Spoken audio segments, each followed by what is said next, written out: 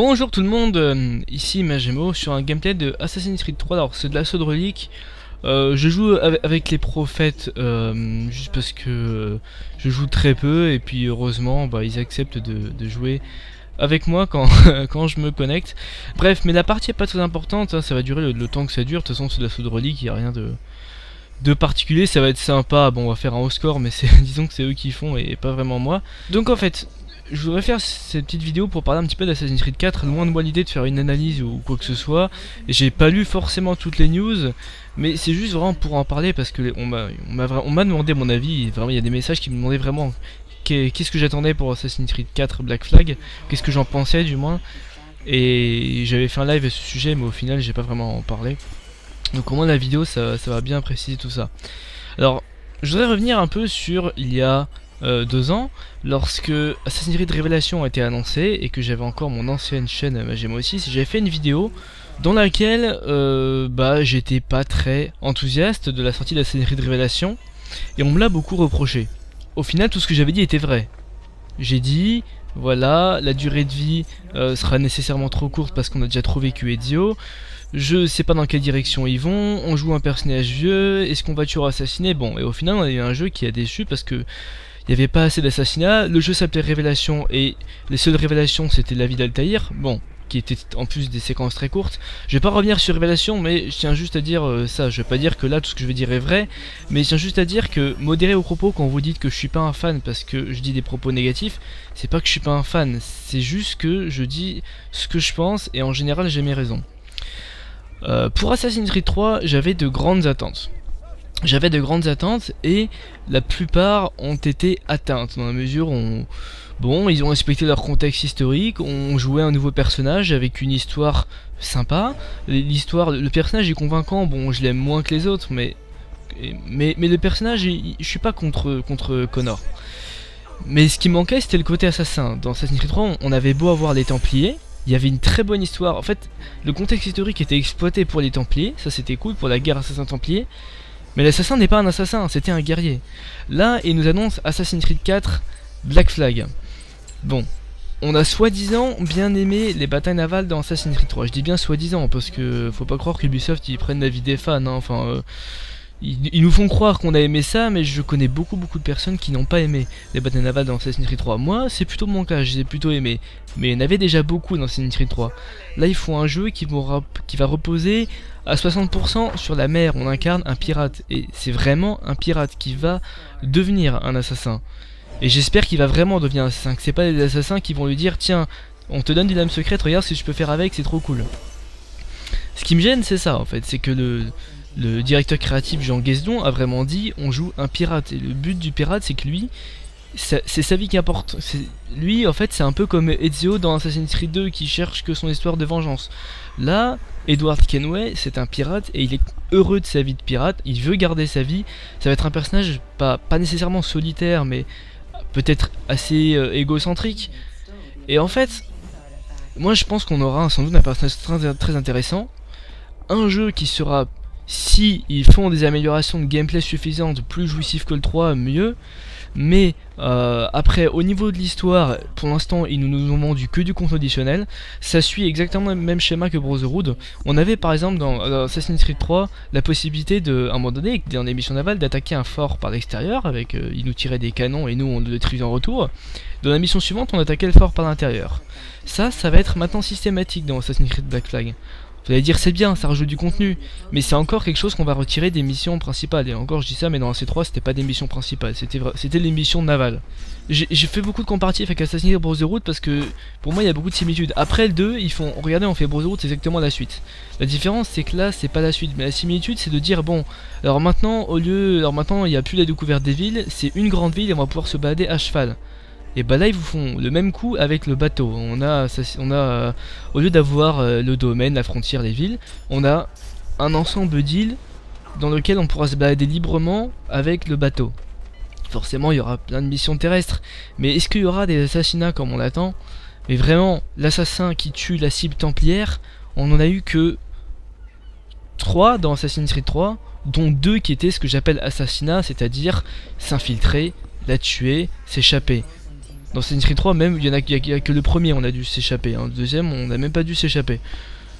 Donc, voilà, le, puis le troisième, c'était la troisième que je mentionne, c'est sur le bateau, hein, donc c'est pas un assassinat, voilà. Et là, j'ai peur que ce soit tout ça, si je parle de Benjamin Church. Si on a que des assassinats à Benjamin Church, et que, voilà, dans Assassin's 3, on nous a promis des grandes batailles terrestres, on ne sait pas, c'était pas si épique qu'on attendait. Dans Assassin's Creed 4, ils nous vendent beaucoup de contenu, et encore beaucoup, je dis, c'est surtout, euh, voilà, maintenant vous allez pouvoir attaquer des bateaux, hein, comme, comme, si c'était une nouveauté, alors que c'est pas vraiment le cas. Hein. On peut aller sous l'eau, bon, ça c'est une révolution de gameplay, une, hein. Pour l'instant on en est à une révolution de gameplay, c'est le gameplay sous-marin. Et ça s'arrête à peu près là, hein, donc le fait de pouvoir aller sur les mains, enfin... Déjà dans Assassin's 3, il y avait beaucoup beaucoup de missions navales qui étaient du contenu annexe, mais vraiment annexe avec les contrats corsaires. Là ça va rentrer dans le truc total en fait. Hein. Je veux dire, euh, les... le problème des jeux d'aujourd'hui c'est qu'on n'arrive plus à... Il n'y a plus vraiment le bon équilibre entre les missions principales et les missions annexes. Dans Assassin's Creed 3, c'était... il y avait à peu près le bon équilibre. Mais les missions annexes étaient trop trop détachées de l'aventure principale. L'aventure elle est toute linéaire, on peut toute la faire d'un coup. Dans Assassin's Creed 2 il y avait cet équilibre. Les missions secondaires étaient au sein du quartier qu'on explorait et on avait le temps d'explorer le quartier. Dans Brotherhood c'était euh, beaucoup trop de missions annexes par rapport à, par rapport à l'aventure principale d'Ezio. Euh, et, on avait, voilà, pareil, dans Assassin's Creed 2, on avait deux gameplays exotiques. Dans Brotherhood, nous ont mis les machines de Léonard de Vinci, c'est cool. Regardez les, euh, les, tombeaux d'assassins, on les a retrouvés dans, le 3, ça c'est bien. Les tombeaux, c'est devenu des îles. Ça, c'est des vraies innovations de, c'est des vraies innovations. Mais si c'est juste copier un contenu et dire bon bah ça, ça passe en mission annexe et on va pouvoir le faire à répétition, ça, risque d'être un peu ennuyeux. Dans, dans Brotherhood, au bout d'un le seul but, enfin le but principal du jeu, c'était plus l'histoire des yeux, c'était de libérer les quartiers en pour débloquer les assassins.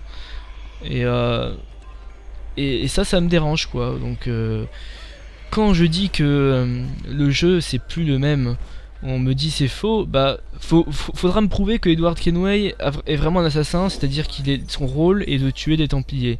Si on me démontre ça, je, je serais content, mais avec Connor, j'ai pas assez ressenti ça. Et mais c'est pas qu'une question de sensation, c'est le, le, gameplay était pas mal dénaturé. Hein. Euh. Bon, le système de combat était très bon dans Assassin's Creed 3 et on va retrouver quelque chose de vraiment similaire dans le 4 mais je suis pas j'ai pas un avis totalement négatif sur Assassin's Creed Black Flag. Moi j'espère que le jeu sera amusant. Moi le seul point que je les attends c'est sur le gameplay. Mais comme ils nous vendent que du contenu annexe on va encore avoir du marketing à plein nez et du marketing et du marketing des éditions collector, des DLC, un multijoueur identique avec des cartes et des personnages en plus, avec des anciennes cartes d'Assassin's Creed 3, on y aura droit. Hein. Mais après, euh, après c'est tout quoi. le problème de sortir un jeu par an, ce n'est pas que, le jeu soit mauvais à la sortie. Assassin's Creed Révélation, globalement, bon, ça va à peu près. Il y a des jeux pires que Assassin's Creed Révélation. On peut pas parler d'une démo payante pour Assassin's Creed Révélation. Il y a des jeux où on y joue et... Le problème c'est pas de faire exactement le même jeu pour ne pas perdre d'esprit. Parce qu'au contraire, là dans, le 3, on, peut, a vraiment quitté le gameplay d'Assassin's Creed 2. Le problème, c'est d'apporter des innovations de, base au jeu, c'est-à-dire en termes d'assassinat, et de ne pas apporter des, contours. Par exemple, les, le Tower Defense dans Révélation, c'était qu'un truc en plus, qui avait pas sa place là-dedans. Genre, la gestion dans Assassin's Creed 2, c'était bien parce qu'en fait ça permettait d'apporter un système économique. Et ça c'est directement lié au personnage, le fait de pouvoir acheter des armes, ça c'est ça, concerne les assassinats. Mais le fait de mettre les gameplays sur...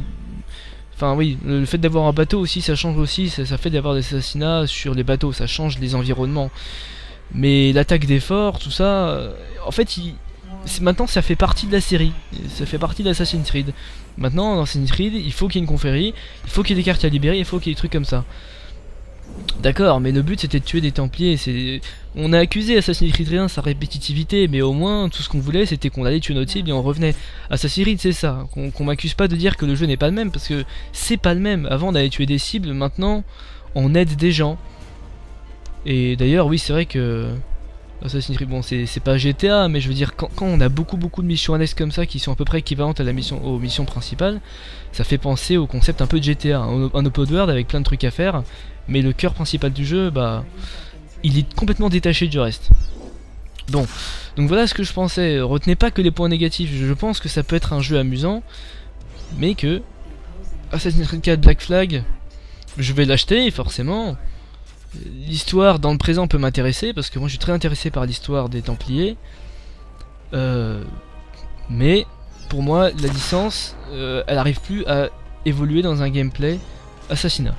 Entre Assassin's Creed 1 et Assassin's Creed 2, on a eu des choses en plus, telles que euh, telles que les, les, cachettes, enfin le fait de pouvoir se cacher dans chaque groupe, il y avait l'intelligence artificielle qui évolue, mais vu qu'il n'y a plus d'évolution à faire, ils ne nous sortent que des évolutions annexes, et même si ça peut plaire à certains, moi ça ne me satisfait pas pleinement. Et je suis désolé, j'ai pas de solution à apporter. La seule solution que j'ai apportée, c'est une autre licence. On est passé le Prince of Persia à Assassin's Creed, qu'on passe à autre chose. Mais qu'on n'épuise pas la série. Là on, est en train de, de l'essorer comme une éponge. Et là, elle commence vraiment à être sèche, quoi. Et, là pour le coup, c'est parce que pour des jeux comme euh, Rayman, Splinter Cell, Splinter Persia aussi, il y a des gens qui ont été déçus. C'était pas l'épuisement de la série. Ça, c'est le marketing qui a ruiné le développement même du jeu. Pour Rayman, c'était le cas. Les développeurs se sont plaints, euh, sont plaints qu'on aura ruiné un peu leur level design. Hein. Pour, euh, pour Splinter Cell, on a ruiné le level design qu'avaient les premiers Splinter Cell pour faire un jeu plus attractif, plus cool, bon, plus boom boom. Pour Assassin's Creed, c'est pas vraiment le cas. Enfin, ça a été le cas en fait dès qu'ils ont sorti Brotherhood, hein, avec le nouveau système de combat et les batailles et tout. Mais ça, à la limite, j'ai accepté. Bon, ça, va. Le problème, c'est que là, la série, elle s'épuise vraiment. Il n'y a plus rien à, tirer de, cette série. Ils nous maintiennent, ils nous tiennent avec cette histoire, voilà. Ils nous tiennent avec l'histoire dans le présent. C'est la seule chose qui, qui, me tient accroché à la série, et le fait que le jeu pourra être fun. Le jeu pourra être fun, et l'histoire m'intéresse.